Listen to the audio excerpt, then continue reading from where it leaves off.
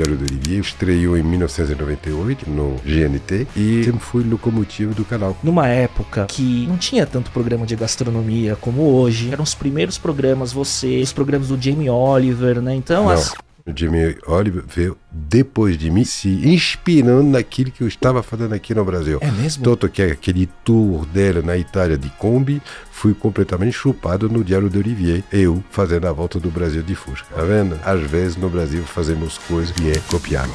O chefe Olivier Anquier. Obrigado demais por aceitar o convite. O chefe empreendedor, apresentador francês, naturalizado brasileiro e motociclista. Versatilidade. Estamos agora com Olivier, é um jurado aqui do Bake Off Brasil. Olivier Anquier, francês, conhecido pela sua habilidade em trazer sabores requintados para o coração de São Paulo.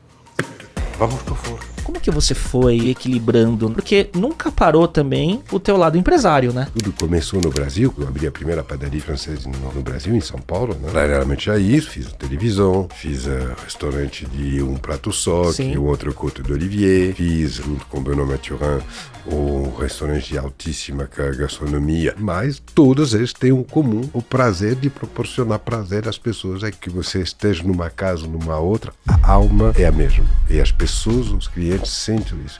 Olivier Anquier é chefe, empresário e pioneiro em programas de gastronomia na televisão brasileira, com destaque para o Diário do Olivier, que começou na GNT em 1998 e durou 20 anos. Conversamos sobre a sua história no Brasil desde os anos 80, sua visão sobre inovação baseada na empatia e nas conexões humanas, os aprendizados e os novos projetos em seus negócios e muito mais. Pessoal, esse episódio é um oferecimento da Alice, o plano de saúde para empresas mais inovador, com reajuste 40% menor que o mercado e que oferece um nível de atendimento e segurança incomparáveis, desde a curadoria de especialistas, a qualidade da rede credenciada e, para mim, que sou um nerd, uma experiência incrível no app. Você resolve tudo no aplicativo, com atendimento em até 35 segundos, acesso a todas as suas informações de saúde e muito mais. Então, em tempos de transformação digital e inteligência artificial, não faz sentido você se preocupar com a carteirinha do plano, livrinho para procurar um especialista, todas essas burocracias que tomam tempo e tiram o foco do que realmente importa, que é cuidar da nossa saúde. E atualmente, para a gente estar bem, produzindo, criando e empreendendo, é fundamental ter um plano de saúde que a gente possa contar de verdade. Por isso, nada mais inovador do que a Alice, um plano que cuida de saúde como deve ser. E eu te convido para conhecer mais sobre a Alice através do QR Code que está aqui na tela ou no link que está na descrição desse vídeo. Olivier, obrigado pela presença e por ter pegado uma moto para chegar até aqui num trânsito de São Paulo que deve estar um absurdo hoje, né? Se- Não, eu não veio de moto, não. Ah, Eu veio de scooter. ah, melhor ainda. É diferente. É mais ágil, né? Na cidade. É, é- não é que mais é veículo urbano, de fato, né? Andar de moto na cidade não é que não seja uma boa, mas scooter é muito melhor. E que você estava fora de São Paulo ainda hoje, né? Tá, agora acabei de chegar de São José dos Campos, né? Onde eu estava dando uma, fazendo uma palestra e aula show na Austin, que é uma revendedora Sim, da BMW? da BMW, eh, Jaguar, eh, Land Rover, eh, etc. E eh, então saí de lá para tentar chegar na hora, cheguei com 10 minutos atrasado. Eu peço desculpa. e como também peço desculpa para tantas vezes que anulei a nossa, a nossa, o nosso encontro, né? Por razões profissionais, claro. E eh, não que você não seja importante, mas hum, me encontrei nessa obrigação. Eu agradeço a, a tolerância. Eu sei que eu sei que eu concorri até com sheiks árabes, né? É, Numa tá vendo? dessas mudanças de agenda, não foi? Exatamente. Cheques árabes, talvez não cheque, não cheque, mas eh, sauditas, com certeza. Olivier, sabe que no começo desse mês de junho, né, eu tava, eu tava lá no Instagram navegando e daí eu vi de repente um post de um amigo que eu admiro muito. Ele tava falando a campanha nova da minha marca de Dia dos Namorados. Era o Rony Meisler falando da campanha da reserva. E aí eu tava olhando várias pessoas e falei, acho que é Olivier. E aí era você e a Adriana, sua esposa. Tá vendo? A gente estava lá em vez de estar aqui. Como que foi essa campanha? Que Foi diferente, maravilhoso, né? né? Foi uma campanha muito boa, né? muito forte, muito impactante e eh, muito bem feita. e, eh, e que acredito teve o sucesso que o seu amigo eh, desejou que tivesse, eh, convidando não só a gente, mas eh, encontrando uma maneira, vamos dizer, um pouco diferente de comunicar, que não fui com a palavra, mas fui com a música, com a melodia da Rita Lee, e nós traduzindo a letra eh, dessa canção da Rita Lee, eh, cujo nome você vai me lembrar.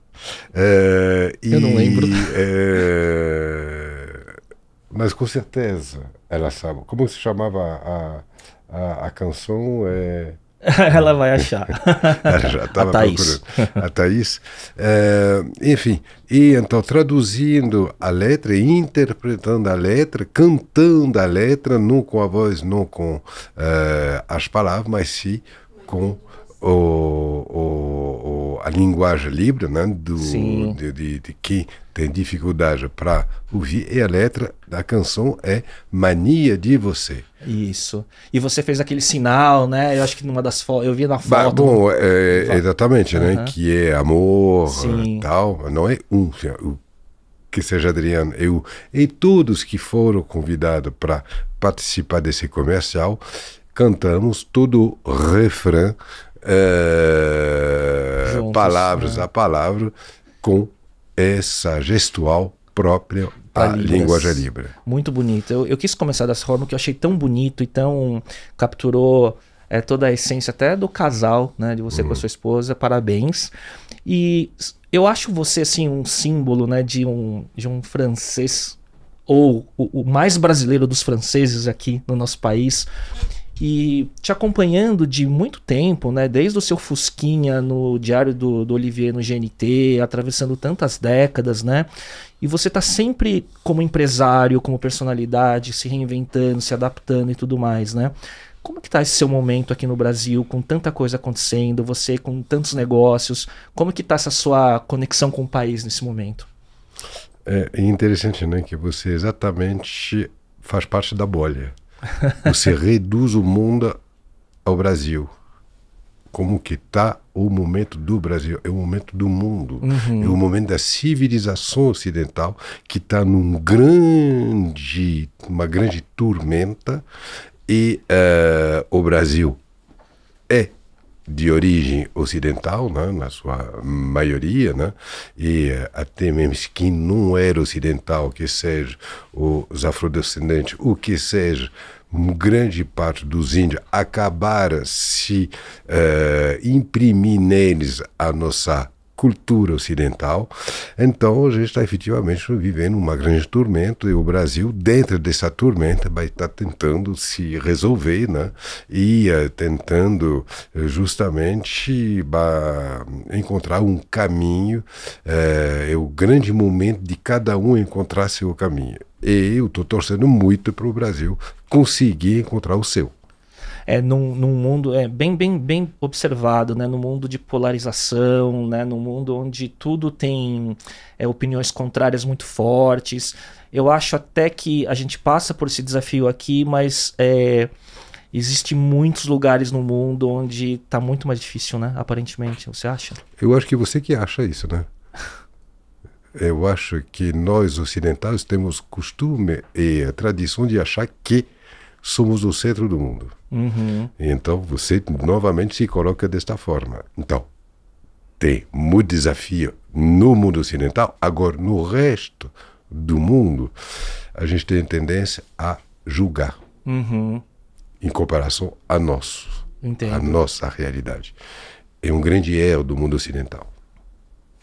A gente tem que olhar o outro, se colocar de igual a igual, tentar entender como que ele é, como que ele enxerga a vida, não achando que nós somos melhor. Muito bom.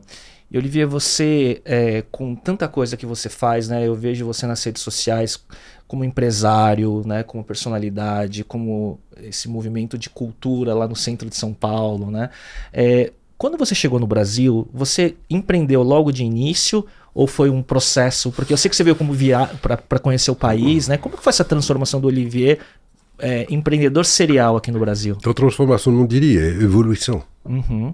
né? Não era uma coisa e virei outra coisa. Eu sou Olivier e sempre fui Olivier, evoluindo ao longo das décadas, ao longo das vivências, ao longo das, da, da, do que eu pude atravessar na vida, de alegria, de tristeza, pouco a pouco, me construindo e não terminando nunca de me construir, eh, sempre alerta, sempre eh, pronta a morder a vida com os dentes de, de, de bocada cheia para somar para ir para frente e somar não necessário para não necessariamente para o meu, interesse pessoal, mas pelo desejo de construir junto e de fazer evoluir as coisas e de participar nesse movimento. Muito então, é isso. Com certeza, né? Quando eu nasci era di- diferente de quando eu tenho hoje 64 anos de idade. De lá, do início até aqui, aconteceram milhares de coisas que, uma atrás da outra, essas coisas me construíram, mas sempre com, com certeza, uma essência de personalidade que se mantém, né? que se enriqueça, que se eh, que evolua e eh, fazendo com que por mais que a essência, o movimento esteja, a, a energia que eu tenho dentro de mim seja a mesma, ela se aperfeiçoa, ela se, ela se, ela se eh, sensibiliza mais por determinadas coisas que me representa, né? que, eh, que justamente desenha cada vez mais os contornos de quem eu sou e eh, até eu não poder ter mais luz. É, mas isso acho que tá longe, né? Visto, eu até digo, visto a tua recuperação recente, né? Do, do, do que você teve, o acidente que você teve, né? De na mão, fisioterapia, eu, eu acompanhei, vi uns vários vídeos seus mostrando. É impressionante o- quando você fala, né, da sua essência, da sua vontade de morder a oportunidade e tudo mais, o quanto você se recuperou rápido com isso, né? É, o, o, o, rápido sempre tem. É relativo, né? É relativo, É, né? é. Mas dentro do, do, da realidade inicial do acidente que eu teve, efetivamente. moto? Foi, foi, foi. Né? Foi de moto, né? Eu estraguei o nervo, o canal de nervo que alimenta todo o meu braço, né? Então perdi o braço e eh, 19 meses atrás e recuperei o meu braço, estou. Quase voando, né? É, e é, só falta a mão, né? Então só eu, eu final. É, Você é destro. eu sou a destro, Aham. sou, é, com certeza. E, um, e é, então foram 19 meses de, de, de, de, de batalha, né? Muita vontade, né?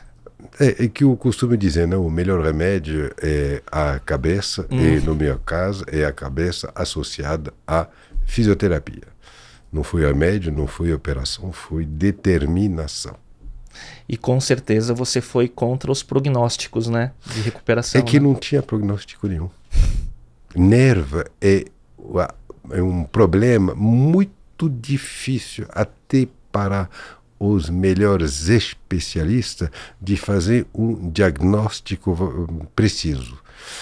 É, se tem uma área que tem muitas coisas ainda para descobrir, o neuro. Sim. E então, de uma certa forma, até servir de, eh, de Estudo de caso, de, né? de, de, de- estudo de caso, eh, mostrando que nada. Nada, nada de, de definitivo, né? Efetivamente, a única coisa que se tinha quase certeza é que dificilmente era concebível eu recuperar nesse período de tempo relativamente curto tão profundamente. Uhum. E, bom, recuperei meu braço. O braço está inteiraço. Tal, eu- tal. E isso não era muito imaginável no início. Mas, como que dá. Sem precisar operar. Nossa. né? Você precisa operar, nada.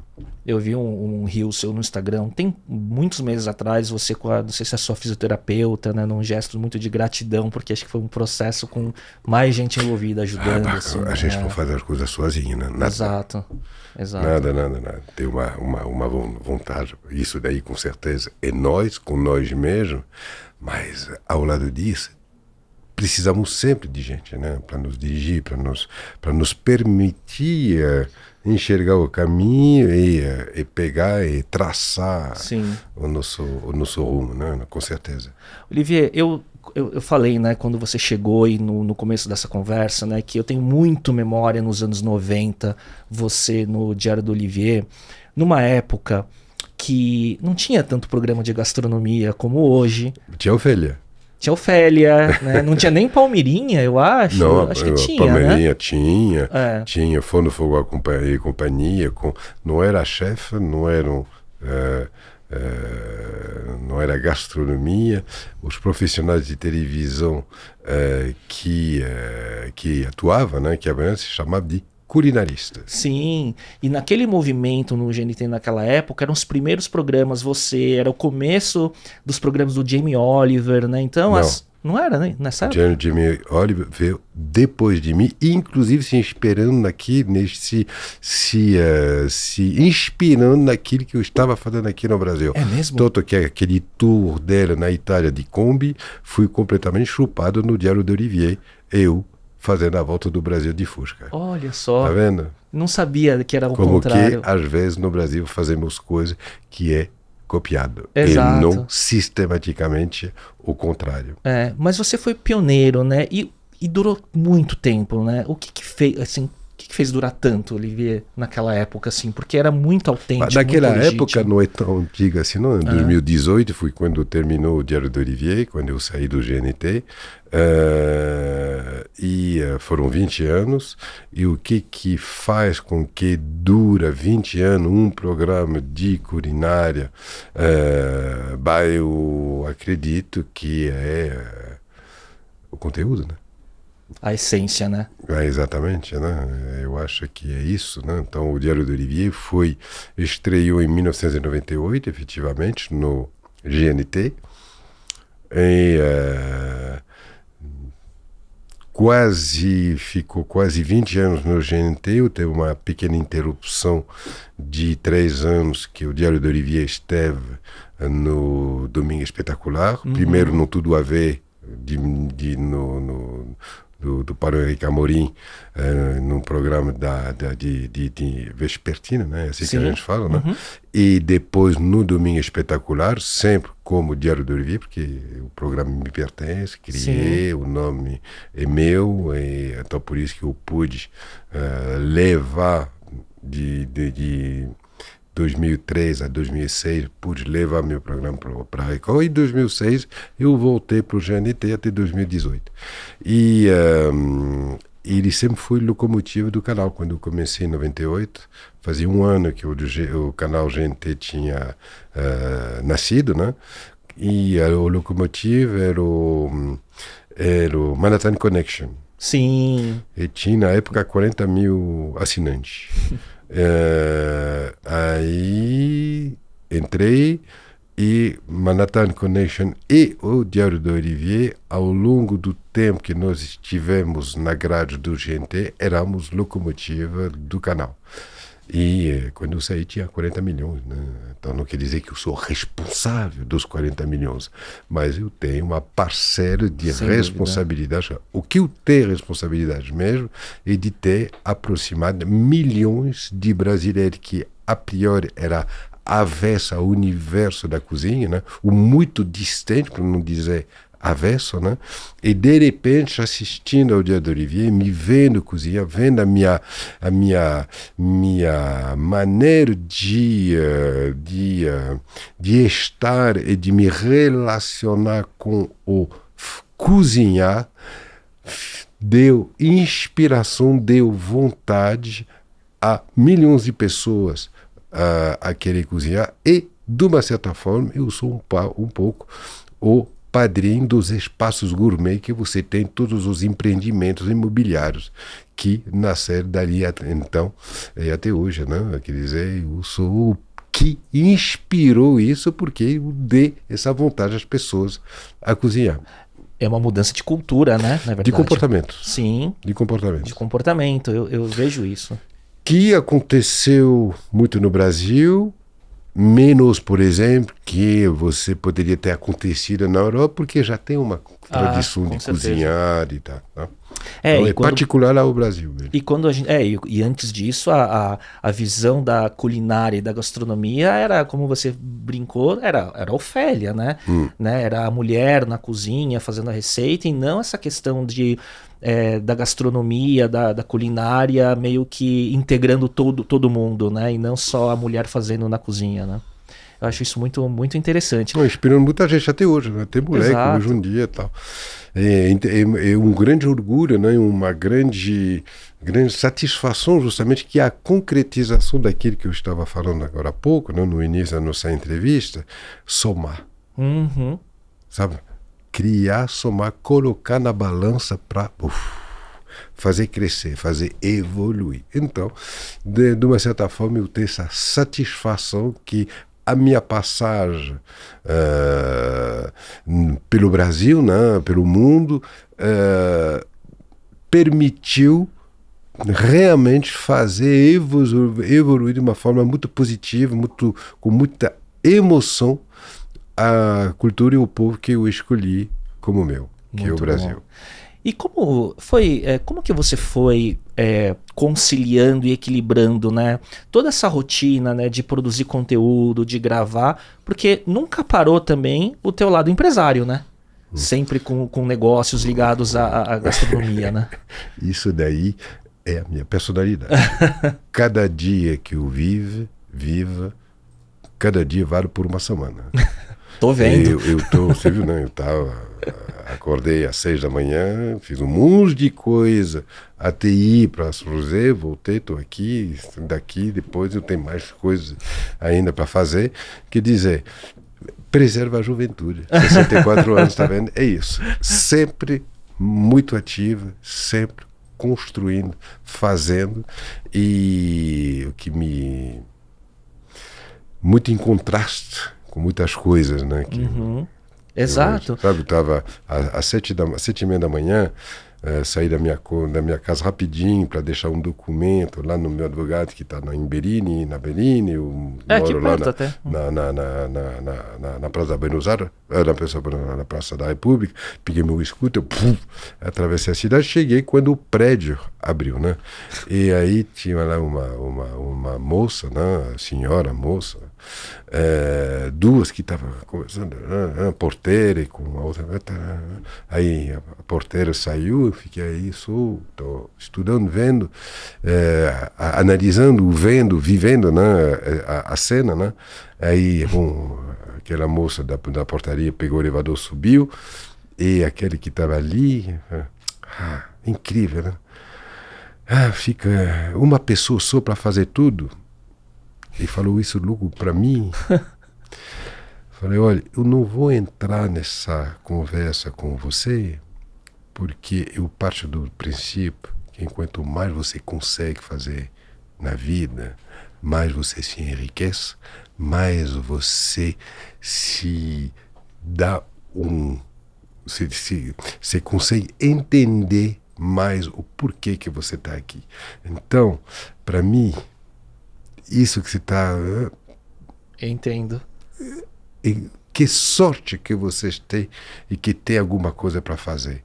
Porque não tem nada para fazer ou ficar recluso numa atividade só, achando que isso é a sua satisfação, a vida fica muito monótona. Não, E você tava lá que, entre aspas, talvez não precisasse. Alguém poderia ter feito Eu aquilo poderia por ter você. chamado um motoboy para fazer. Não, eu, eu- meu, tem duas pernas, duas pernas, tem uma cabeça, tem vida. Vive. Então, peguei meu scooter, foi papo muito mais. A gente é muito melhor servido por si mesmo que pelos outros. É então, tá, eu consegui fazer. Eu sei que foi. Enfim, a vida. Essa é a minha maneira de, por isso, responder a sua pergunta. Desculpa aí o microfone. responder a sua pergunta. É isso. Sempre fui assim.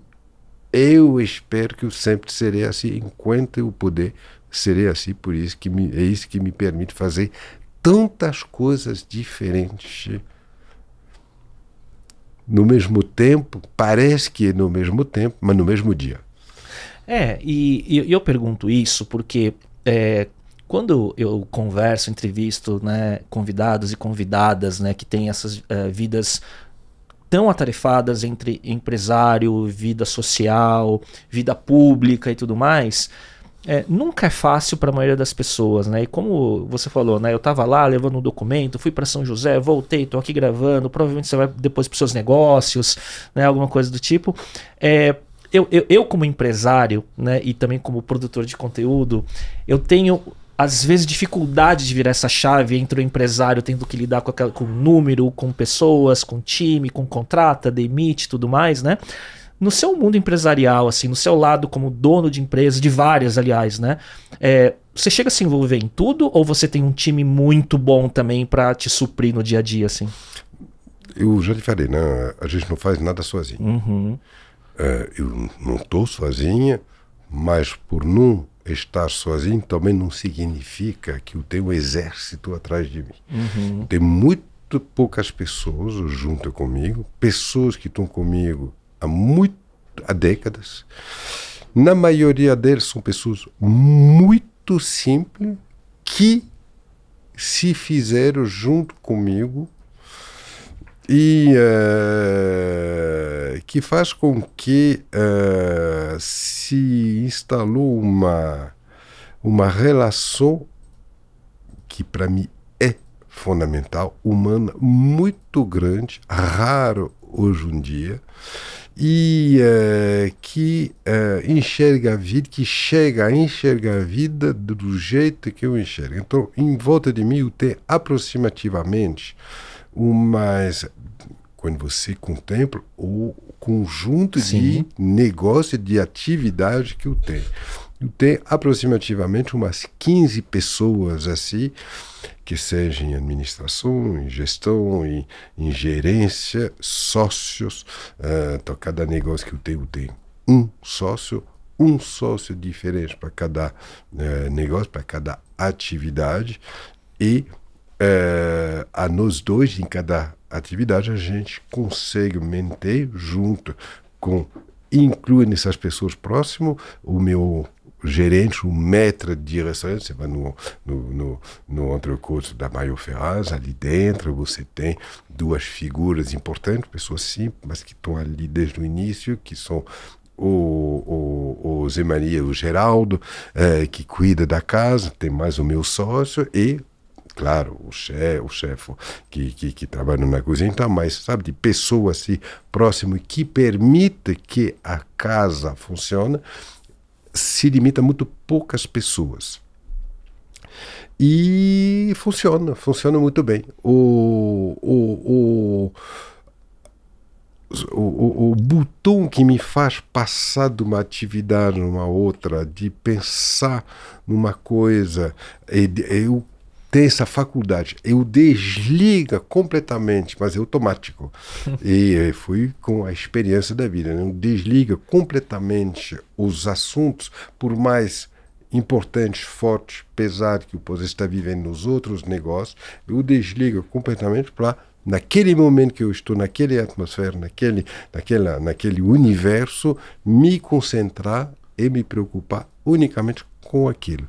Isso é uma faculdade que eu tenho. Por isso que quando eu gravava, por exemplo, uh, meu programa, todos os meus negócios estavam acontecendo. Né? E, e tinha com, problema. E tinha problema, e tinha, tá, tá, mas não me afeta. Não quer dizer que eu não resolve. Sim. Mas naquele momento que eu estou agora, por exemplo, tá, tá, eu estou agora com você. Pode cair o mundo do lado não vai ter absolutamente nenhuma interferência em mim, porque eu estou concentrado em você. particularidade da minha personalidade. Não, não isso- sei se é comum, mas comigo funciona assim. E só funcionaria a vida que você tem desse jeito que imagino que você foi aprendendo ao longo da trajetória, né? E até curioso você falar isso, porque quando eu cheguei hoje aqui para gravar e tava falando com o pessoal da minha equipe, né? Eu falei, puxa, pessoal, hoje no meu negócio principal onde eu sou CEO, tive N desafios, né? Eu cheguei com a energia, falei, tem que dar uma respirada, virar a chave, dei uma meditada e tudo mais. Tô pronto para gravar, vira a chave, conecta na energia da pessoa e vamos conversar, né? Mas é difícil quando você tem. Eu tenho também mais de um negócio. É, para mim é um aprendizado não levar a energia que às vezes pode estar de um problema de um lado pro outro.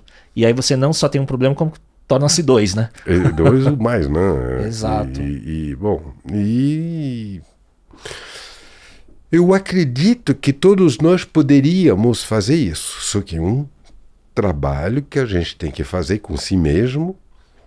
Eh, eu aprendi com a vida, eu não detectei isso como sendo algo vital. O fato de eu ter conseguido eh, eh, desenvolver essa particularidade é meu estilo de vida, eh, é minha personalidade.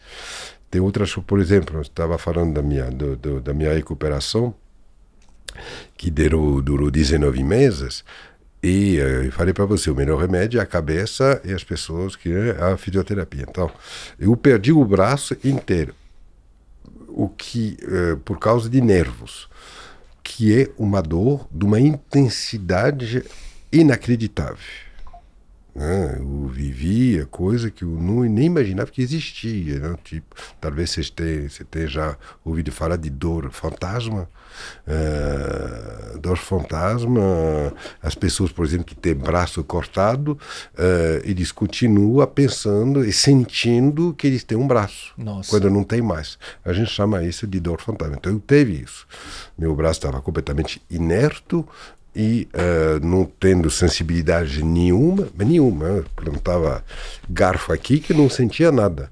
E então minha sensibilidade na ponta dos meus dedos não existia, nem calor, nem frio, nada, nada, nada. nada. E aí, de repente, eh, tava, meu braço estava aqui, conversava com você assim, e de repente eu senti o meu braço aqui, meus dedos sentindo a textura disso daí que eu estou tocando aqui agora, sentindo todas a, a essa, tá vendo esse barulho, Sim. essas coisas, como se eu estivesse eu, ouvindo isso, é igualzinho, até muito mais que se de fato eu estivesse fazendo isso com minha mão e sentido como eu estou fazendo aqui agora com minha mão direita. E aí, eu sabia que o meu braço não podia, minha mão não podia ser, mas como que.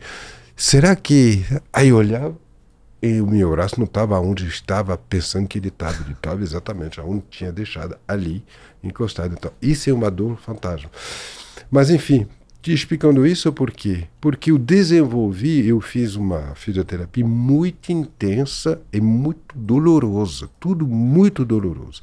E eu acabei desenvolvendo uma relação particular com a dor. E a minha fisioterapeuta ocupacional e a fisioterapeuta, fisioterapeuta mesmo, que me acompanha há 19 meses, eh, detec- viram como é que é e viveram comigo como que é que eu me relacionei com a dor. Muito simples.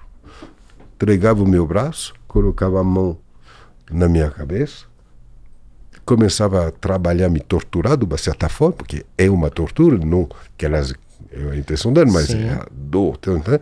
mas eu consegui extrair ter a força de espírito de extrair justamente meu espírito da do meu corpo, assistindo de cima e me levando a um certo ponto, me desligatando, que eu acabava, pum, dormir na minha mão enquanto ali estava me ah, me entortando os dedos, braço, eh, tudo, e me ajudando muito, sem utilizar remédio, a superar a dor e principalmente a aguentar.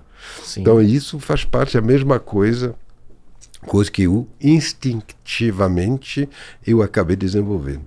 É, é, e, e isso que você falou é quase um estado de estar meditando sobre. totalmente. né? É, e todo dia. Totalmente, todo dia. Todo dia. Muita Todo dia. E, e, e, e, virou automático, né? Depois de meses, de meses, de meses, de meses, né? todos os dias. uh, Puf, imediato. Isso deve ter alguma similaridade com o que você falou de conseguir virar a chave. É isso aí. De é isso não tô- levar a dor de um lado para outro, seja do, do trabalho para a vida pessoal, entre as empresas e tudo mais, né? Exatamente, não, absolutamente. Mas É no nível máximo de física. É, é instintivo, totalmente instintivo.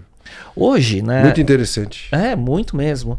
Hoje eu vejo, né, você tem, como que são, como que é a complementaridade hoje das suas casas, né? Você tem o Ester, né, que é o seu restaurante que todo mundo conhece e tudo mais, e você tem vários outros negócios, né? Como que cada um, como que é o posicionamento e como um complementa o outro como estilo, assim? É, bom, primeiro de todos, né, é a panificação. Né? Tudo começou no Brasil com a panificação. Né? Em 1993, quando eu abri a primeira padaria de francês no, no, no, no Brasil, em São Paulo. Né? Era boulangerie, alguma coisa, não É, era? bom, para mim eu chamo de padaria porque estou no Brasil e boulangerie não é uma palavra brasileira. Onde se faz pão no Brasil é uma padaria. Ah, mas não é uma padaria. É engraçado, né? Essas casas. Não, padaria é uma determinada coisa. Não, para mim, é onde a gente faz pão. Então. mas enfim, padaria francesa, então, que em francês se chama boulangerie. Aí, para não dizer padaria, casa de pães. é, é, é, eu gosto de chamar cachorro, cachorro. É, sim. E gato, gato. Eh, mas enfim. E primeira, então, boulangerie ou padaria de tia francês do Brasil, que é um lugar, é um lugar aonde se vendia, se fabricava e se vendia diversos tipos de pães eh, diferentes, porque até então só tinha um monoproduto, né, que era o pãozinho francês. Sim. Eh, e eh, em 93, nem o Plano Real tinha nascido ainda, né, que eu fiz isso quatro meses, eu abri quatro meses antes. Mas enfim, então, minha coluna vertebral até hoje é a panificação. E, paralelamente a isso, fiz televisão, fiz, eh, fiz eh, restaurante de, de, de um prato só, Sim. que o outro Côte d'Olivier, eh, fiz, eh, eh, mais para frente, eu fiz o, o, o, que já tem oito anos, junto com o Benoît Mathurin, um restaurante de altíssima gastronomia, por causa do Benoît, que é um chefe mesmo. Eu sou bife com batata frita e pão. Ele é chefe. Gastronomia, tal que é, um, ele estudou aquilo e junto à sensibilidade e à maestria dele, conseguindo fazer pratos maravilhosos, fazendo com que realmente é uma alma eh, que, que o cada prato tem uma alma, é, um- é algo Sim. muito especial, eh, gustativamente falando, que acontece, e são efetivamente área, por mais que o prazer da boca e na maioria do, de, de- desses negócios meus, né, que mexem com a emoção do prazer da boca, né, da, da comida, são áreas diferentes, né? Sim. E, ehm, e eh, mas todos eles têm um comum isso, o prazer de proporcionar prazer às pessoas aqui se ofereça aquilo que eu participei para para fazer. Então, isso é a ligação de todos. E por ter essa ligação, há um, um equilíbrio. Por mais diferentes os assuntos ser eh, tratados, os negócios aparentemente ter, todos eles têm uma ligação que faz com que eh, que seja que você esteja numa casa ou numa outra, a alma hum, é a mesma. E as pessoas, os clientes sentem isso. Vão ali na padaria, ou vão no outro corte, ou vão eh, no, no, no, no este rooftop, onde eu então, sou junto com o Benoit, sócio fundador, e que, inclusive, ah, vou acabando repassar para ele, porque é mais o universo dele que o meu, porque, como eu te falei, o meu universo é bife com batata frita e, e, ah, e, eh, e pão, né? Então, para poder me consagrar mais aquilo que é minha essência mesmo, né? Eh, de repente, dá ao Benoit a sua a, a autonomia e, eh, e o reconhecimento que ele merece. Eu vou me afastar do Stop, mas ao lado eu vou fazer um bife com batata frita, que tenho as duas, duas uh, coberturas, então terá o Westeros, então, e ao lado o entrecôte de Olivier. Então, voltando àquilo que realmente me pertence, que é o meu universo. E que é, é, eu acho curioso, porque quando a gente fala de tudo, né? Desde um pouco atrás falando do pioneirismo do Diário do Olivier, ou do restaurante de um prato só, ou da padaria francesa trazendo outros tipos de pães que não o pão francês, que era só o tradicional, de certa forma foi pioneiro em tudo, né? É a minha particularidade. Que surpreende. Uh, que às vezes até destabiliza, né? Porque né?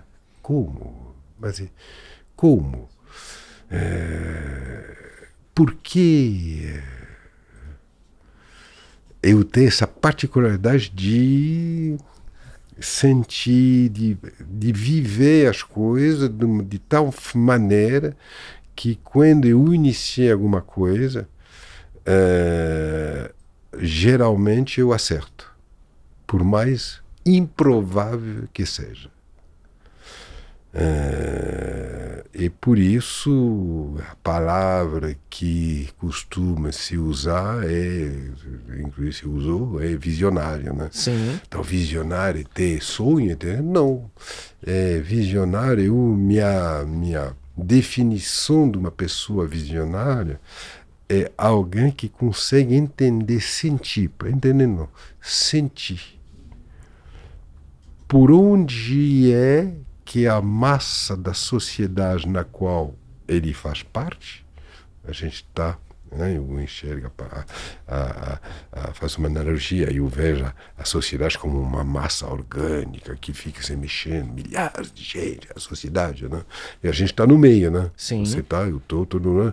está fora da, dessa massa, quer dizer, fora da sociedade, quer dizer, antissocial, né? Sim. É, você não vai em lugar nenhum. A gente tem, estamos dentro, temos que viver com ela e temos que entender justamente o visionário tem essa particularidade de estar no meio e de conseguir estar com a cabeça um pouco mais para cima para eh, enxergar, conseguir enxergando e entendendo o movimento orgânico que ela está tendo, né? vendo por onde é que ela está se dirigindo e de repente, já que estar lá no momento que ela chega. No timing certo. No timing certo, exatamente. Porque se for muito antes também não dá certo. Né? Exatamente. Então, é, o que eu enxergo do visionário é isso. É, é que alguém que realmente vive a sociedade do ser humano, que tem uma verdadeira empatia com o ser humano e sua maneira de sentir, de vibrar e saber conseguir trazer aquilo que se precisa, se busca naquele momento, não copiando, mas inovando. Você deu uma explicação perfeita de inovação. Sabe que aqui eu recebo muitos empreendedores de startups de tecnologia que fundaram essas grandes empresas que estão inovando pelo mundo, né? E quando a gente fala sobre inovação, fala-se muito sobre antecipar comportamento, no timing certo, hum. enxergando para onde a sociedade está indo, né? Mas você falou não de uma forma técnica, você falou sobre a ótica da, de quase da intuição de um ser humano, da empatia e do entender de gente, né? No final das contas. Emoção. Eu sou padeiro, eu não sou técnico. Muito bom, Olivier. É, e como que você divide tudo isso com família, com esposa, com filhos? Quantos são? Três? Três, três. E uma mais novinha? É, a, a, mais, a primeira tem 30, né? E a mais nova tem 7. E hum. essa diferença geracional, assim, acompanhar tudo isso. Eu tenho uma de 14, uma hum. só, né? Hum. E como que é para você essa, essa convivência? Faz parte da minha vida. Sabe, a gente tem costume de a gente tem costume de enxergar a sua vida como uma pizza. Você corte em pedaço. Momento, cada pedaço é um momento. Momento do trabalho, momento família, momento férias, momento uh, ginástica, uh, academia, esporte, momento isso, momento aquilo, tal, tal, tal. Eu não consigo dividir minha vida em, em, em porções, assim, em momentos. Porque a minha vida é uma só. E tudo que eu vivo faz parte da construção da minha vida. Então, eu sou administra esse momento como um tudo. E meus filhos, e minha filha que agora tem sete anos, que é aquele que tem que dar toda a atenção maior, convive, que nem, junto com a mãe, a minha esposa, Adriana, convivemos tudo, absolutamente tudo, juntos. E eu, Olivia, é, é uma moça de sete anos que vive e que conhece absolutamente tudo que eu faço. Que ela participa, ela está comigo. A gente não tem babá desde que nasceu, nunca tivemos babá. Uh, nós, então, deveres de casa, eu que faço com a mãe, o, né, tal. Chego em casa, quer dizer, a tal de puff, de desligar, de me concentrar naquilo que eu faço naquele momento. E quando eu estou com a Olivia que está de férias, tem que ir no meu ateliê de pães, tem que ir nos Quem é que vem comigo? A Olivia. Adora e ela já vive no ritmo, no meu ritmo, ela já tem uma experiência de, da, da, de realidade da vida, morando no centro, andando na rua no centro, indo para a escola com a mãe comigo de metrô e voltando de metrô comigo. Quer dizer, ela tem uma realidade da vida muito profundo. E então, uh, essa conciliação, a família tal, estamos juntos. É tudo junto que a gente faz tudo e, é, e sem separar os momentos. É... Sem, sem essa noção de separação dos momentos. Eu vejo muito isso na sua rede social, que é bem isso. Porque em um momento você pode estar no trabalho, você está com a família, você está viajando, mas tudo meio que se mistura. Totalmente. É uma é... verdade do que parece que é a fotografia do Exatamente. seu dia mesmo, né? Aí eu tô se me for, eu estou explicando aquilo que você está vendo na minha rede social. O que está ali é a realidade. E aí tinha uma festa junina onde a sua filha estava lá num post recente, não era isso? Né? Exatamente. Eu, eu acho isso desafiador, sabe, Olivier? Porque, assim, como pai de uma adolescente e tendo vários amigos com, com crianças mais jovens, como a Olivia, ou com adolescentes em formação, daqui a pouco indo para uma idade de vida profissional num mundo que está se transformando de uma forma tão rápida, né? a relação com o trabalho, as profissões, né? É, o mundo, como você disse, né? em transformação no mundo inteiro. Né? Eu acho a, a gente está agora escolhendo qual, qual escola nossa filha vai, que acaba o ensino fundamental e vai para o médio. A gente começa a pensar, tá, mas qual é a formação que a gente quer para ela como ser humano, para dar as ferramentas para que ela faça as escolhas e o caminho dela. Eu acho bem desafiador sabe, de, de, um, de um mundo que eu vim, né? Que eu fui criado, ah, estudei engenharia, empreendi, tive carreira e tudo mais, é, para um mundo que parece que é, é, muito mais amplo as opções que, as, que, a, que, os jovens têm, né? Não sei como que você olha para isso, assim, para esse futuro é, que esses jovens vão ter, assim, sabe? É muito mais ampla. Eu pensei exatamente o contrário. Exatamente ao contrário. Eu acho que está cada vez menos propício, aparentemente, né, para poder ser diferente. É, hoje em dia, você. Ah, mas com internet, o celular, isso, aquilo, pá, tá, tá. Nossa, a juventude está muito mais muito mais o quê? Inteligência artificial chegando? Nem escrever eles ensinam em casa, em casa na escola, nem calcular eles ensinam em escola, nem nada, porque a inteligência artificial está aqui. Roteiro de filme, livro, romance, tudo já está quase sendo realizado por tal de IA. Sim. Aí vai sobrar o quê? Ninguém quer ser pedreiro, ninguém quer ser padeiro, ninguém quer ser. E vem os robôs aí, com vem inteligência robôs- artificial. exa- exa- é. Então, eu. Ah, mas o marketing. Marketing não vai precisar de mais ninguém para fazer marketing. Ah, mas não vai precisar de ser humano para fazer. Então você está vendo como que eu estou reduzindo Sim. esse universo que tá, você estava vendo gigantesco, como que eu estou funilando para quase nada. Agora tem uma coisa que a inteligência artificial nunca fará. Emoção. A relação humana. A cada vez menos tem relação humana. Todo mundo se trancafiona no seu telefone, no seu universo, na sua bolha. Pensando que o mundo é a sua bolha. E você viu, né? não sei se é onde você mora, mas eu tenho certeza, eu tenho certeza, eu tenho certeza absoluta que aonde você mora, aonde você trabalha, você acha que é isso aqui, o mundo Sim. a sua bolha.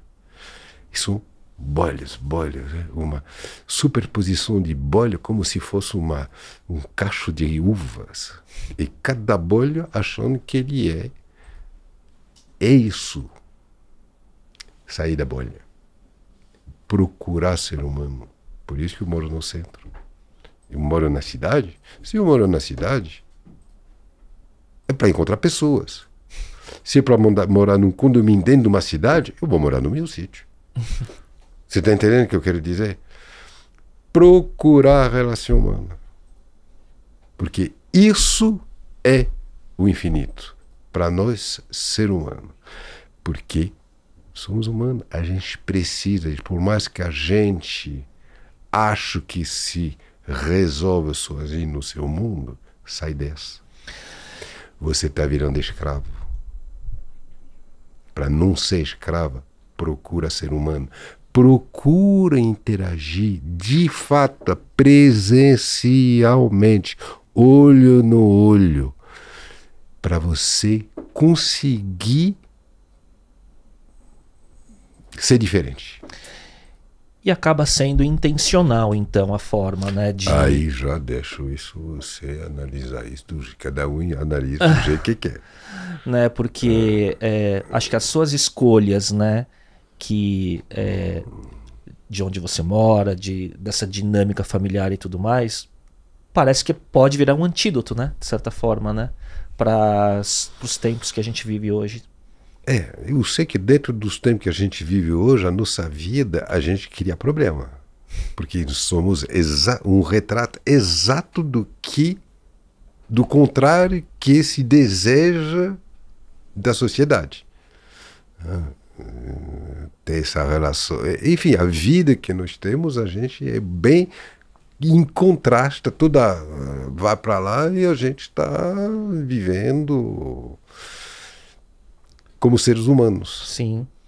Olivier, eu vi, eu vi um post recente seu, você falou, né, eu moro no centro e tenho contato com as pessoas, eu vi você celebrando num, num vídeo, num rio recente lá no seu Instagram, falando sobre quase uma ode ao centro de São Paulo, a revitalização e tudo mais. Como é que você está vendo esse movimento no centro de São Paulo? É, real. Tá acontecendo? É real. Faz 18 anos que Adriana e eu moramos lá. Eh, e eh, há sete anos moramos lá com uma menina que nasceu lá e que os sete anos dela foi criado lá. Então, o centro a gente conhece, né? Sim. E, eh, de fato, eh, de não de muito tempo para cá, mudou e está em movimento de mudança concreto. O, o centro foi aquele terror, então esse, esse terror, se já aconteceu, eu não vivi. Eu Como estou te falando, faz 18 anos. Então pode ser que antes de 18 anos tenha sido um terror.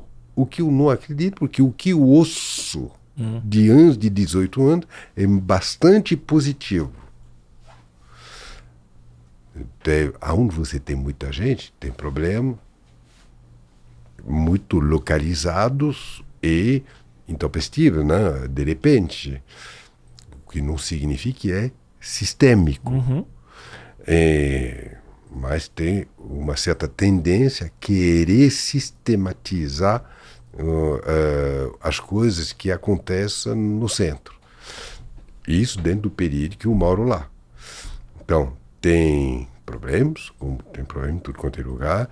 Tem lá uma particularidade que nasceu lá, que é a Cracolândia, existe, como ela existe em todas as grandes cidades, não só do Brasil, como da Europa. Sim, Estados Unidos, todos os lugares. Então, sabe, mundo ocidental. Então, por exemplo, ah, mas não, mas é o centro. Está no centro. Está num determinado ponto do centro. É que eu costumo falar para as pessoas que viajam um pouco. Você viajou, você já foi para Paris, não? Já, adoro. Eu, ah, pois é. Mas você não viu o lado. Você já foi Porte de la Chapelle? Você já foi em Stalingrado? Aonde? Então eu estou te citando dois bairros que eu tenho certeza que você nunca foi, porque inclusive eu estou te falando, você não sabe nem do que, que eu estou falando. Que é aonde tem nossa Cracolândia lá em, na, em Paris. Você nunca foi porque você não tem nada o que fazer lá. Você vai para Saint-Germain, você vai para Montmartre, você vai para Champs-Élysées, você vai para. Tá, mas Porte de la Chapelle você não vai. Se você tivesse ido lá, eu tenho certeza que você nunca teria voltado para casa dizendo Paris você tem Cracolândia. O é uma Cracolândia. Você teria citado a experiência dessa passagem nesse bairro como, nossa, eu atravessei um, um bairro muito louco. Lá tinha, nossa, muito, nossa, entrei saí, ainda bem, me oxigenei nos outros bairros, nos outros lugares, né, nas outras ruas, nos outros quartiers eh, de Paris, que é muito diferente daquele que o. É lá é a mesma coisa.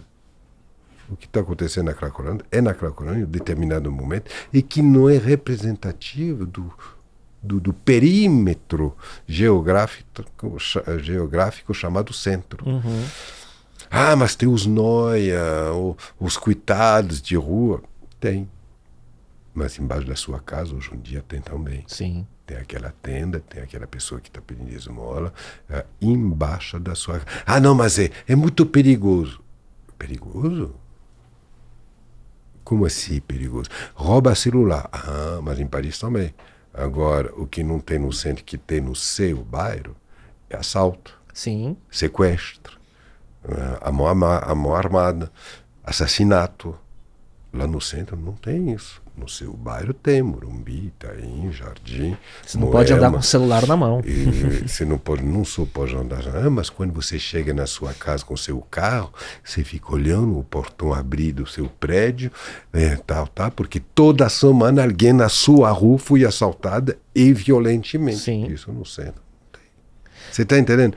Então, estou fazendo essa comparativa porque esse desenho que se fez, esse, esse quadro que se fez do centro, não é bem a realidade. Eu falo com conhecimento da causa, né, por ser morador, com família e empresário, trabalho lá.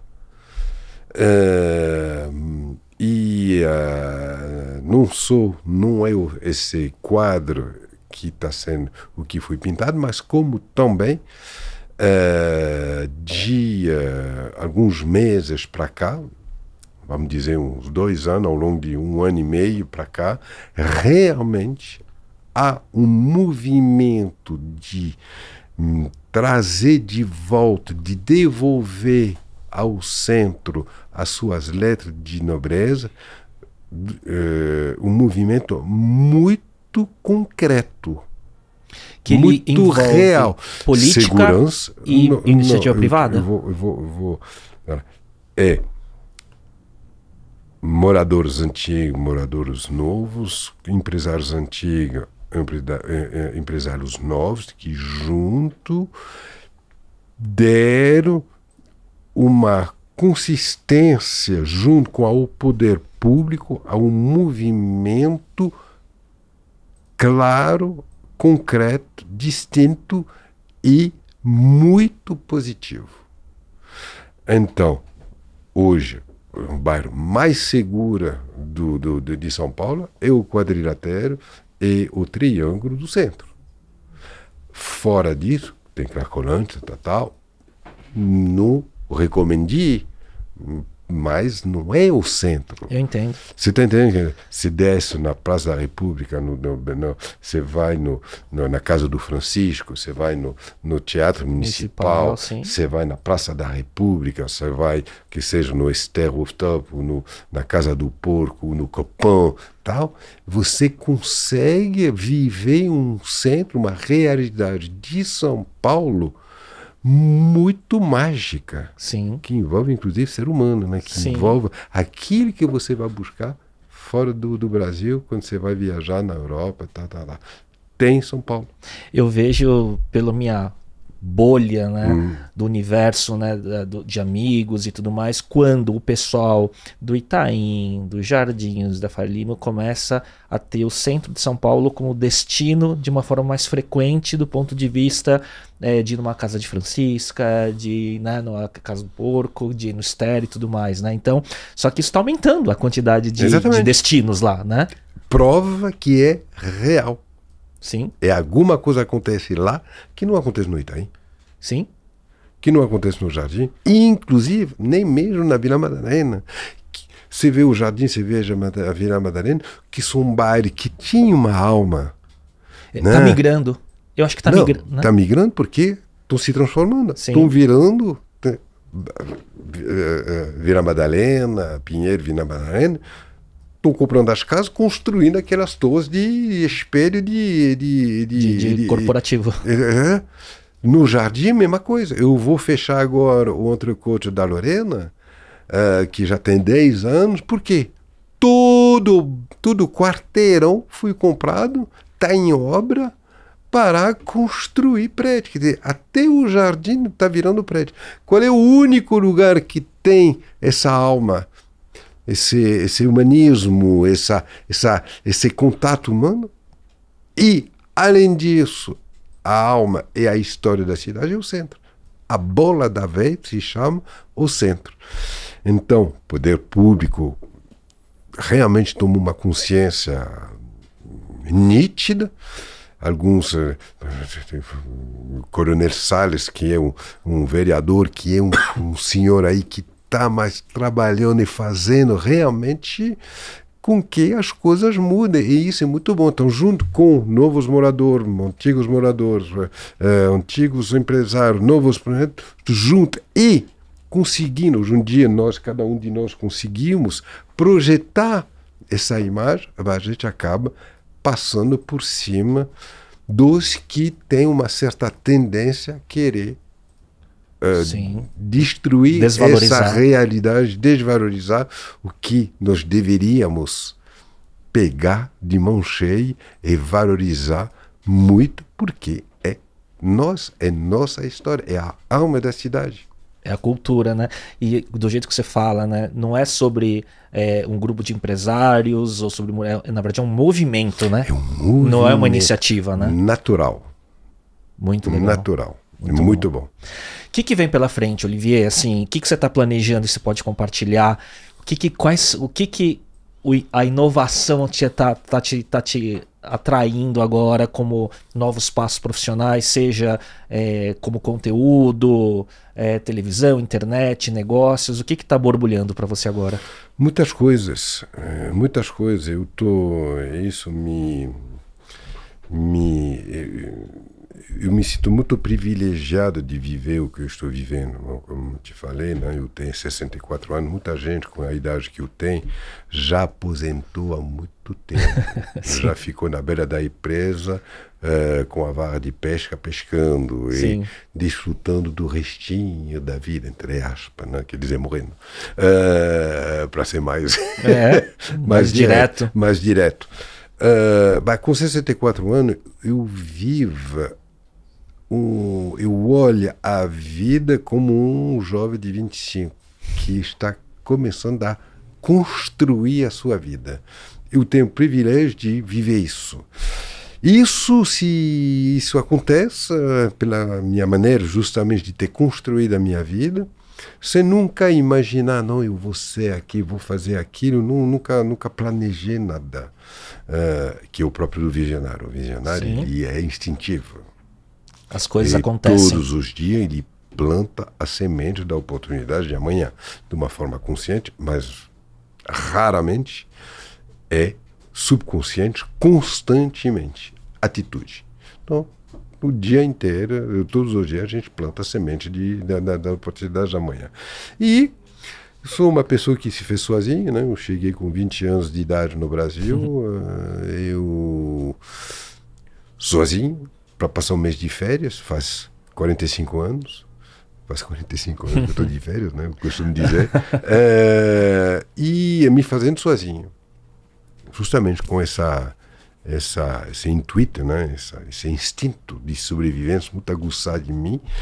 E, eh, e eh, nunca imaginei um dia ser padeiro, por mais que seja da, da minha família, né? sou a terceira geração de padeira na minha família, durante a minha mãe, sem nunca imaginar ter restaurante, né? estar atuando no universo eh, do prazer da boca, né? através de restaurante, sem nunca imaginar um dia fazer televisão, sem nunca imaginar, nu- nunca imaginei, nunca desenhei a minha vida. Eu fui construindo e em função da que eu estava vivendo, de repente detectar, pegar tudo e fazer.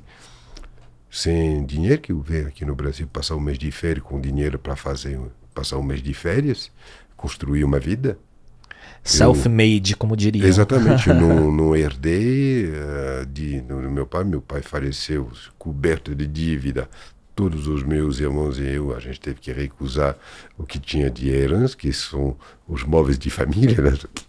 Deixava, porque lá na França você aceitou a herança e tudo, né? Era Dívida, O bom e o ruim. o bom e o ruim. Então, então realmente não beneficiei de uma ajuda material específica e de repente nunca eh, roubei banco, nunca, eh, enfim, nunca fiz nada que pudesse justificar de repente eu tivesse dinheiro para construir o que eu né?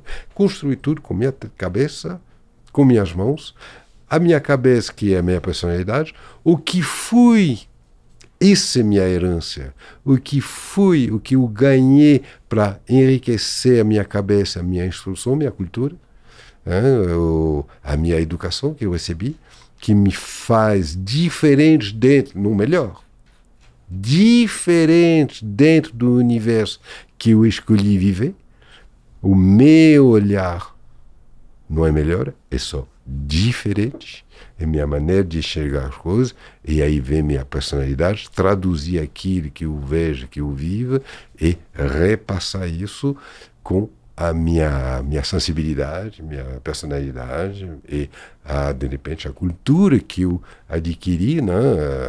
e que por isso que é muito importante né? Cê- é, é- é- é saber falar, é saber ler, é saber entrar em história, saber contar história, todo, todo esse lado humano que a inteligência artificial não vai fazer para você. Tem você está muito- entendendo que você tá entendendo o que eu Sim, quero dizer? sim. É por isso que eh, quando você tem filho, né, dá atenção, dá justamente passar que uma máquina não vai passar nunca. Sabe que a minha filha que tem sete anos até hoje não tem celular. Nunca ficou com o celular na frente dela para ah, me dar o tempo de fazer outra. Nunca. Né? E eu espero que não vai precisar ter Tão por cedo. ainda alguns anos. Compensa com outras coisas. É essa atenção, essa justamente de, de me acompanhar e viver o que eu vi. Só que tem que preencher, né? Pra senão você não tem filho, né? Exato. É, ter filho para ter de, de despachar para a escola achando que é a escola que vai educar seu filho. Terceirizando Não, com, não. com equipe, né? Com A, a escola instrua e não educa. Quem educa somos nós. Mas então, para voltar à sua pergunta, porque você viu que você me fez a Sim. pergunta. vamos Mas tem muito autoconhecimento aí, Olivier, quando você fala sobre. A, a pergunta, então, estou cheio de coisas novas que são fruto daquilo que eu construí. Por exemplo, você me falou, ah, Olivier, você, foi, você cancelou um, um, uma, uma, um, um dia que a gente tinha marcado por causa do cheque, que não era cheque, é o saudita, né? o universo do, da, da Arábia Saudita. Nunca na minha vida eu imaginei que um dia eu iria na Arábia Saudita. A trabalho. Nem a trabalho, nem a nada. Porque para mim a Arábia Saudita é muito distante. Primeiro, é um universo para mim, que sou de origem ocidental como você, se pinta, ou se pintou um quadro do Oriente Médio, do Golfo, do, dos árabes. Do petróleo. Não, estou falando de comportamento cultural. Sim, sim. Que não é bem positivo. Uhum. Então, eu sou ocidental como você, o que, o, que, o, que, o que me foi injetado, a minha reação é, e minha, minha sensação é a mesma que milhões de ocidentais. Eu não tenho nada a fazer na Arábia Saudita, no Golfo, a priori. De repente, o meu bife com batata frita, quem poderia imaginar que um bife com batata frita me levasse na Arábia Saudita? que eu, estou te falando, subconscientemente plantamos todos os dias a semente da oportunidade de amanhã.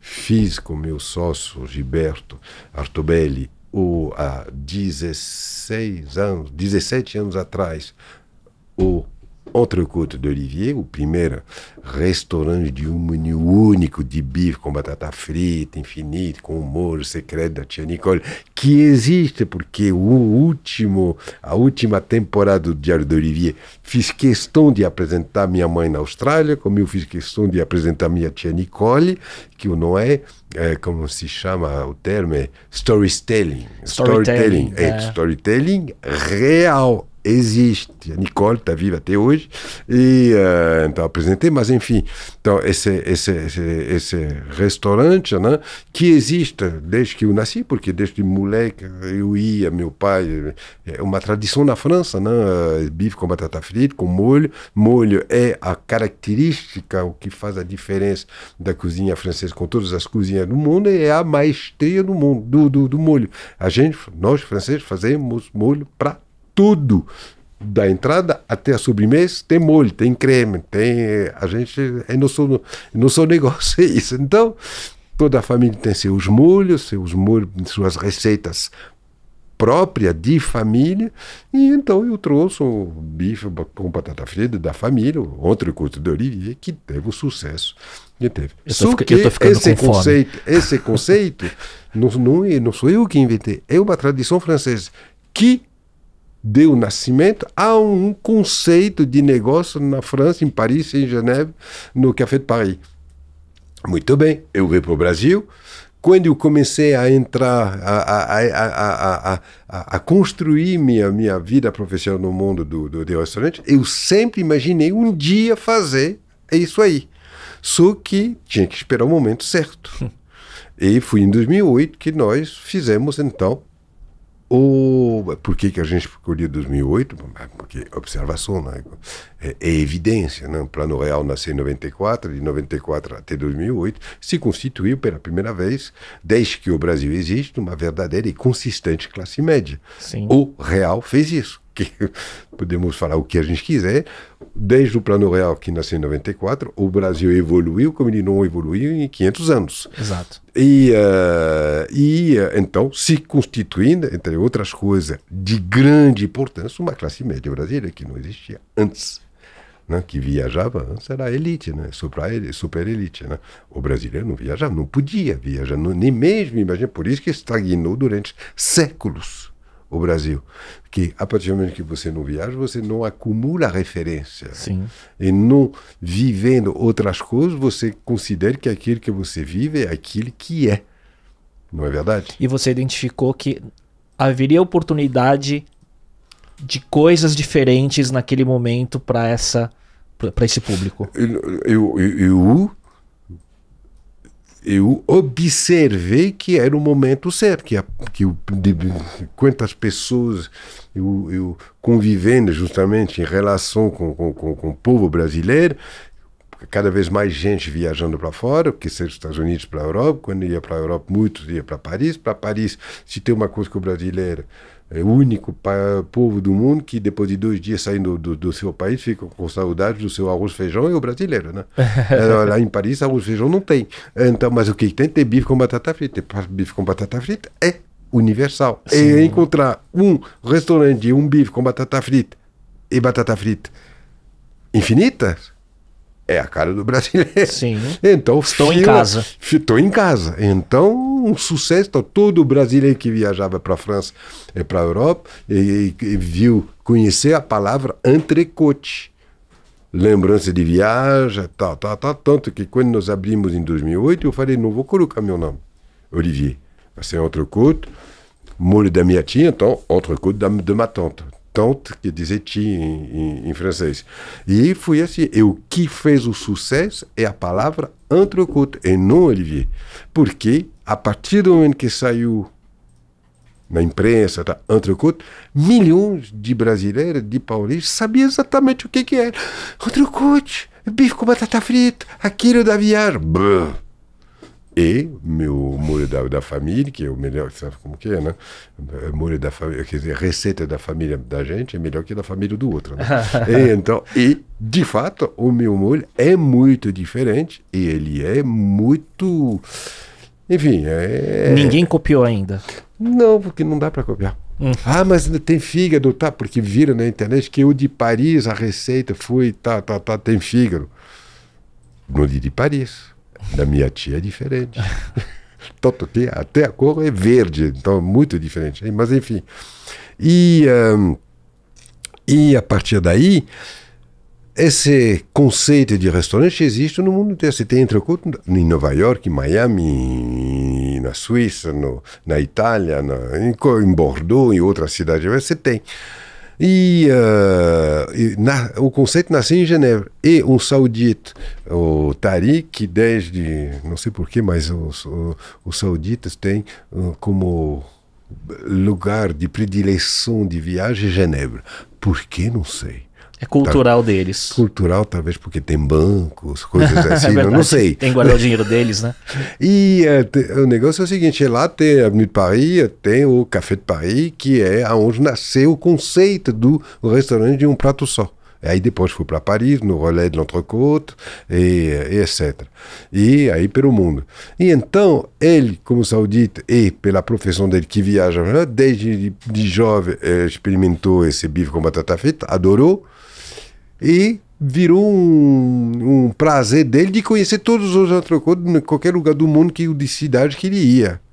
E casou com uma brasileira de Curitiba, soube que tinha um entrecote em São Paulo, aí veio conhecer, e acontece o seguinte, para ele, o melhor entrecote do mundo com batata frita é o entrecote de Olivier.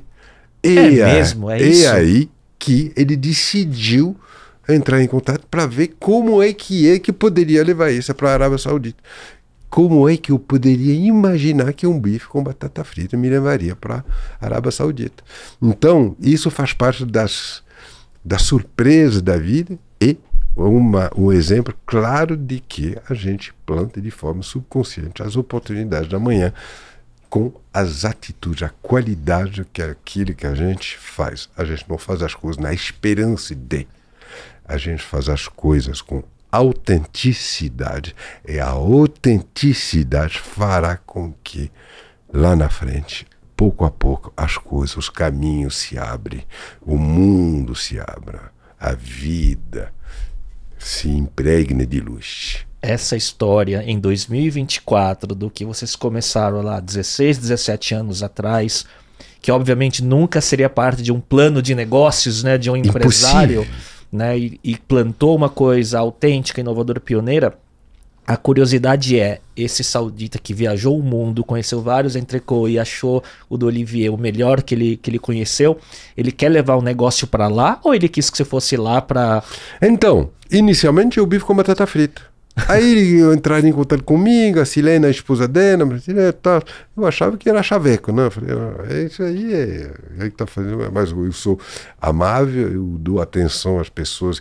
Quando a gente recebe elogio, a gente sempre gosta, né? Então, tá, tá. E aí, durante dois anos, assim, lá em Riad, de Riad, falando comigo, tal, tal, tal. E um belo dia eu falei, Olivier, agora você vem. E aí me levaram lá. Me levaram lá para eu conhecer eles, conhecer a realidade do que é a Arábia Saudita, que para mim era um. Sim. Era só o que, ia, É, né, exatamente. mostrado. E para eu para justamente eu conhecer, ver e de repente ver de que forma eu poderia aproveitar o que eles detectaram e que eles gostaram para poder trazer ele lá dentro desse país que está em plena explosão. né? O eixo do mundo está mudando e a Arábia Saudita é uma nação de peso nessa mudança. Sim. E então fui para lá, descobri tal, tal, tal, e a primeira coisa, já para a primeira coisa que aconteceu em mim é que muito rapidamente todas as certezas que eu tinha recebido como qualquer ocidental de qualquer lugar do mundo a respeito do, da vida, do, do- da, da cultura, do, da realidade que se podia viver lá, bah, foi tudo pro brejo, né? Porque é contra- completamente outra coisa que eu encontrei. Por isso que eu estava te falando no início. O que é diferente, nós não podemos julgar. A gente tem que encarar de igual a igual, tentar entender e não julgar. Então, um monte de coisas foram para água abaixo, né? Muita coisa. Então, do, dos tais de escravos que trabalham para os sauditas, não para os árabes. Não, a sua escrava que veio lá das Filipinas. Não, não. Meu, eu quero ser escravo lá.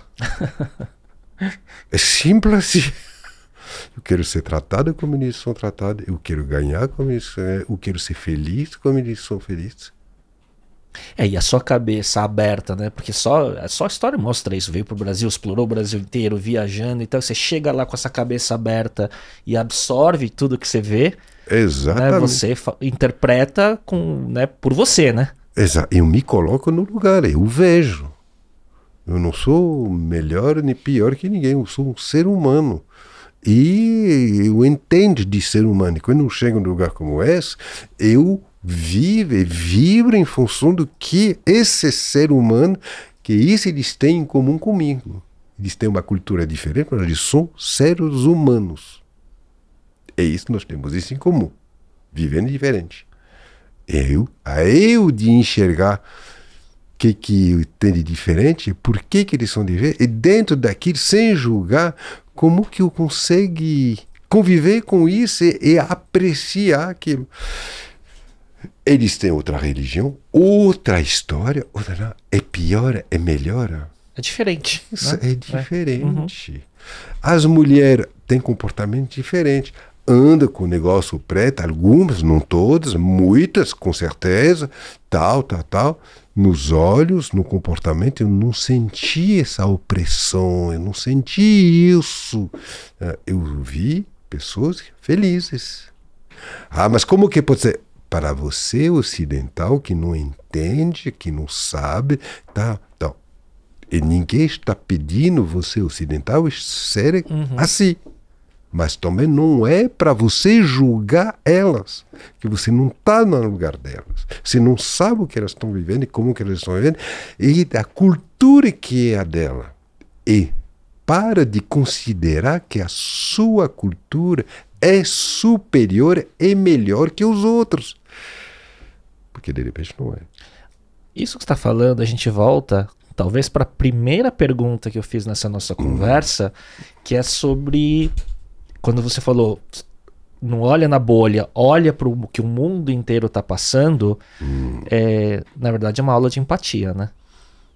Exatamente. Que seria a cura para os tempos que a gente vive, literalmente, né? Com certeza. se a gente olhar pelo, por outro prisma que, nos, que não seja o nosso, com certeza a gente entenderia muitas coisas e conseguiríamos resolver eh, muitas coisas que hoje a gente está batendo a cabeça contra a parede. Então, no final das contas, né, essa viagem para a Arábia, né, ela foi se gerar negócio é uma consequência de muitas outras coisas, né? Exatamente, é uma continuação, uma evolução. Da conexão humana. de- Exatamente, exatamente. E você vê que graças a isso, de repente, coisa que eu fiz em outros tempos pode também ser usado lá. Por exemplo, o Diário do Olivier vai voltar. Hum. Mas não necessariamente para o Brasil. O Brasil vai beneficiar disso. Olha só.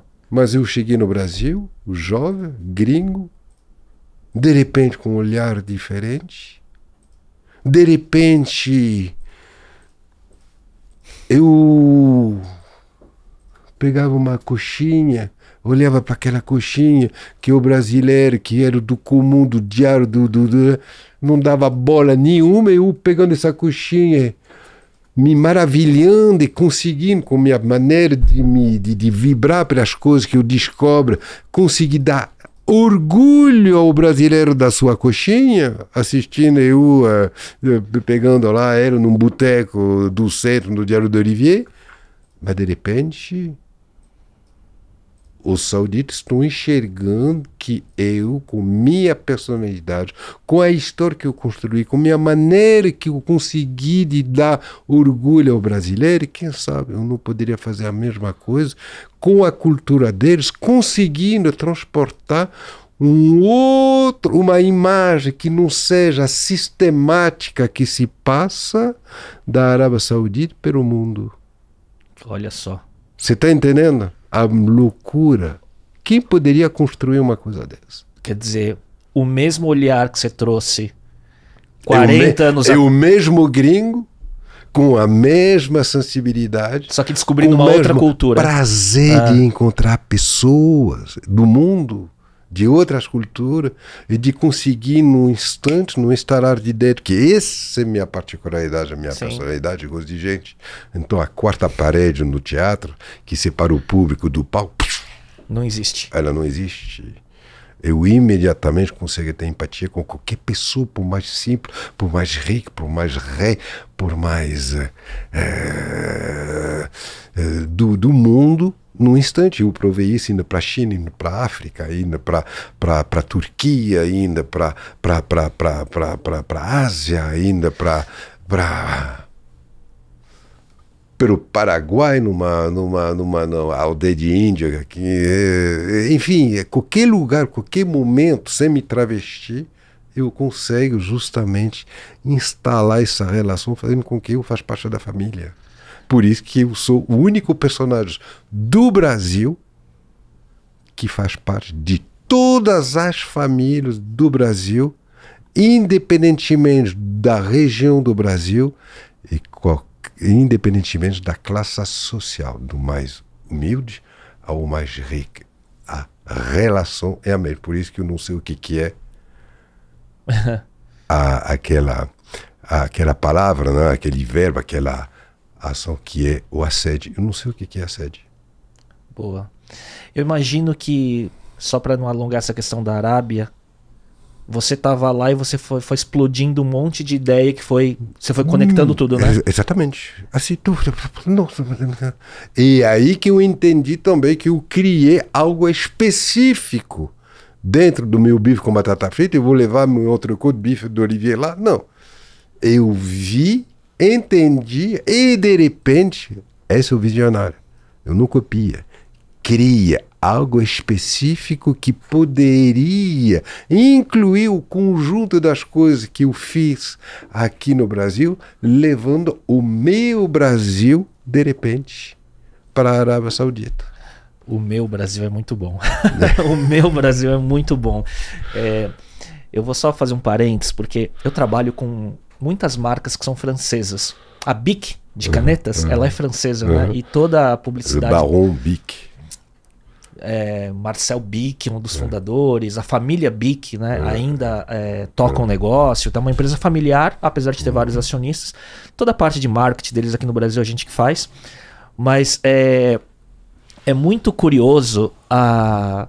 Eu vejo você um francês muito diferente dos franceses que eu conheço. Porque eu vejo muito, muito franceses no Brasil é, que não fizeram essa simbiose com a cultura brasileira como você fez. Pois é. Talvez seja por isso que eu não tenho relação com os franceses.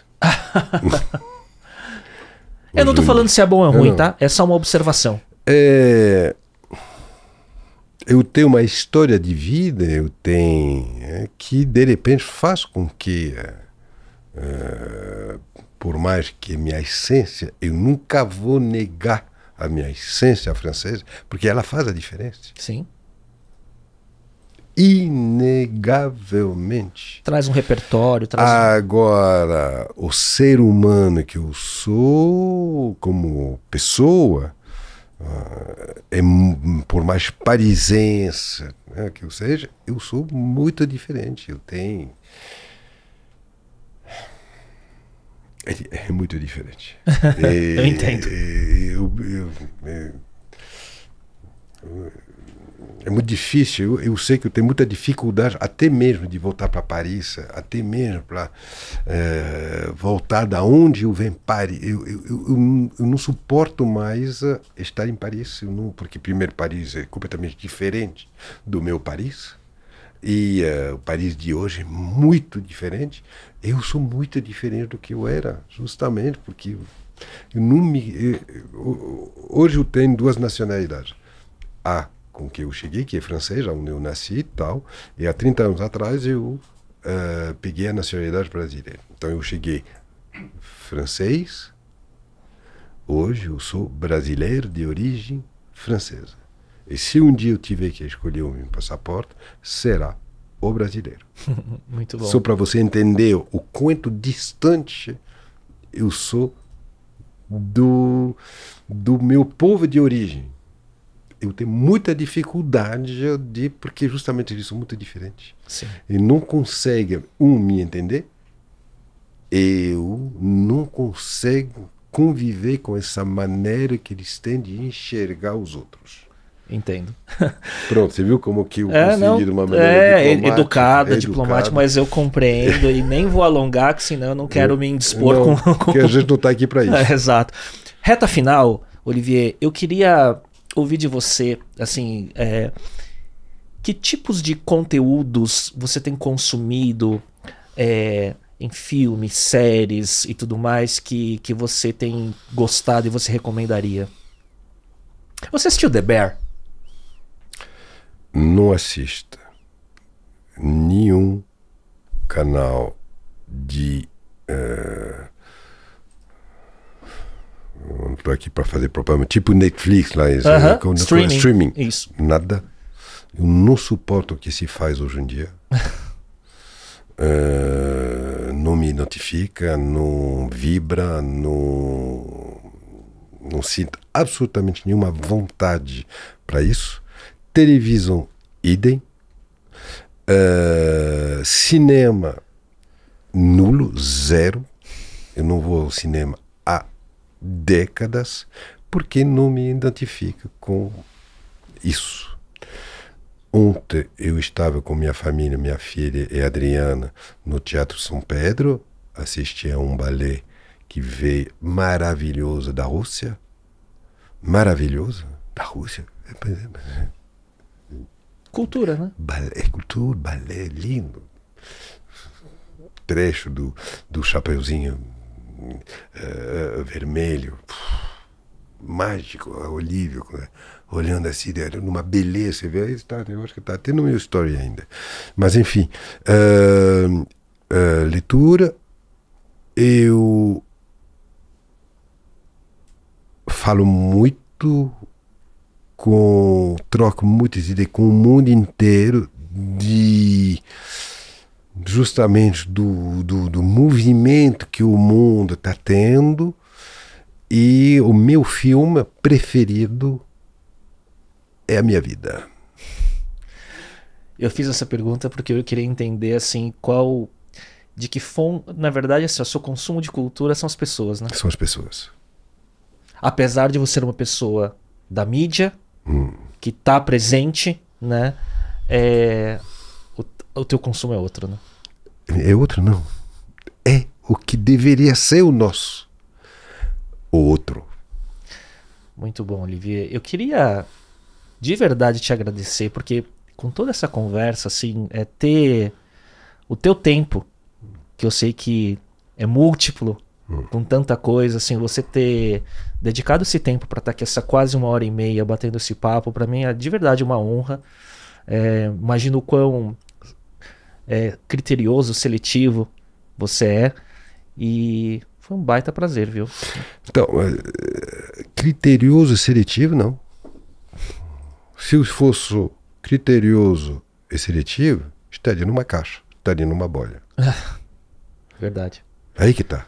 Eu sou muito fora da caixa para desta forma me enriquecer. Essa hora e meia que você está colocando como um presente que eu dei tal, eu não dei presente. Você me deu a oportunidade de poder viver uma hora e meia de emoção, de, de, de relação, de olhar olho no olho. Você parou para me ouvir, eu parei para te olhar, para responder, para entender.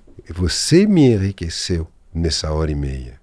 Não foi uma hora e meia estéril, foi uma hora e meia muito produtiva que me permitiu me ouvir falar, que me permite, você me deu a oportunidade de eu tirar da minha cabeça pensamento que saíram para minha boca ter os seus os ouvidos, você me escutando, mas que passaram você para bater na parede que está lá atrás e voltar no meu ouvido, fazendo com que eu ouço meus pensamentos.